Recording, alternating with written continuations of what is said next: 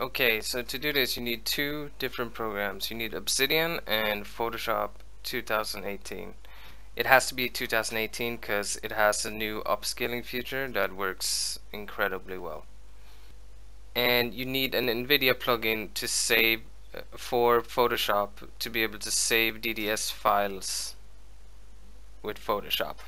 That's all all the stuff you need to do this. So first thing you want to do is download Obsidian, open it up, and then we need to get the WAD files for to extract the actual skins. So I got this program here that let me find files super quick and as you can see here I just wrote ra.wad and I have tons of different kinds so you probably won't have the, as many as this. But just look for the latest one and it should be 817 and the file is usually always around 20 megabytes so if it's one of these that's like super small it's not going to be correct. So uh, open the path.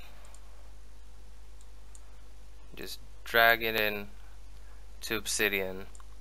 And then all you want to do is export all. Let's make a new folder right here. RA boom it's extracted.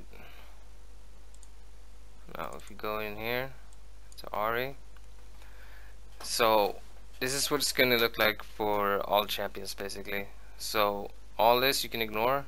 Go here characters RA skins. Let's do base for now. This is the file we're going to be altering. So let's open up that up.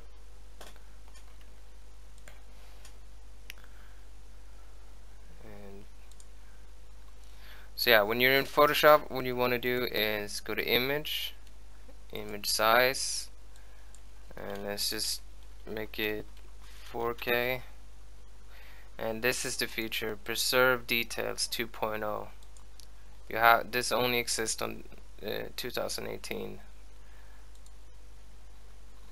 scale it up. Okay go up here save as and important that you do not rename it. It has to have the exact same name as the original or it will not work. So replace make sure it's on 2D texture. Save it. There we go. Now we have it. So now that it's upscaled we need to go back to assets. Go back one more. Here's assets. Right click and we need to zip this. It cannot be a RAR file. It has to be a zip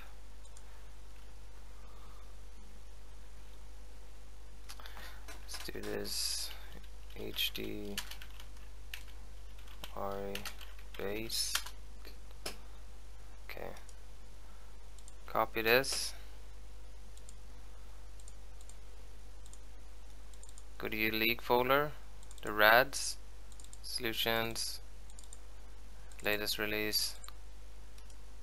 All you need to do is paste this here after you make a text document that will be called client zips open this up. And now we basically just want to put the name of the zip in here.